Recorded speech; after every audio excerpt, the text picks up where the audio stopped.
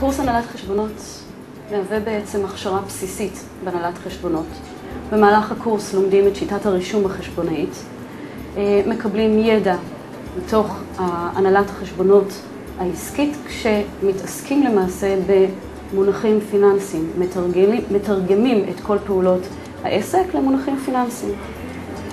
כשבסופו של דבר אה, רוכשים ידע בניהול חשבונות בעסק, בהכנת דוחות כספיים בעסק. המקצוע מתאים לכל אחד שמעוניין לרכוש מקצוע, מקצוע טוב, מקצוע שנדרש בשוק.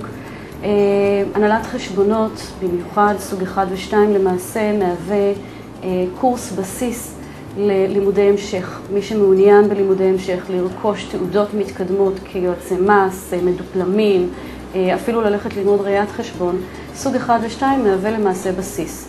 זה מתאים גם לכל אחד שיש לו עסק עצמאי ורוצה אה, להבין קצת יותר בתחום הנהלת החשבונות בעסק שלו. הלימודים הם בין תשעה חודשים לשנה, זה תלוי במסלול, אם לוקחים מסלול ערב שהוא למעשה פעמיים בשבוע, או לוקחים מסלול בוקר אה, שהוא פעם בשבוע.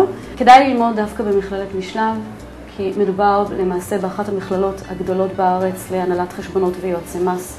יש לנו פה את המרצים הטובים מהשורה הראשונה, יש לנו פה כיתות מרווחות. אנחנו נמצאים במיקום מאוד טוב, אנחנו במרכז תל אביב, אה, די קרובים לתחנת רכבת, ההגעה לפה מאוד נוחה. יש פה יחס מאוד אישי בין המרצה לתלמיד, אנחנו אה, עונים אה, על כל אה, אה, בעיה כלשהי, נותנים פתרון לבעיות.